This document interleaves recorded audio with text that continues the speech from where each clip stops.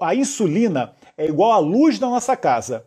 Ela é fundamental, mas ela não pode ficar acesa o tempo todo.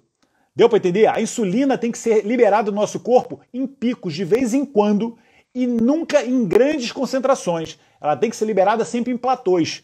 Por isso que existem várias dicas, inclusive que eu falo no MES, de formas como você é, é, é, introduz o alimento no seu corpo. Então tem técnicas para você baixar o índice glicêmico do alimento. Por exemplo, né, tomar, é, comer um pouquinho, um, um, um, um, punhado de frutos secos ou de sementes, principalmente. A semente é uma dádiva, né? Adoro semente para tudo. Então, comer um punhado de sementes antes de você fazer a sua refeição, você faz um buffer da, do pico de insulina feito pela gordura e pela fibra das sementes.